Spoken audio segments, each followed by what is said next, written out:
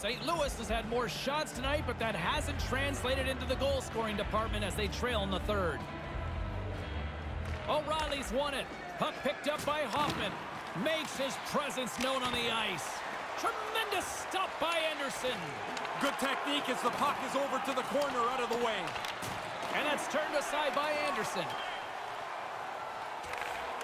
Shot! And another stop! Dead center, excellent save. And they'll be forced to regroup after the puck bounces out of the offensive zone. Here's a chance right out in front. He scores!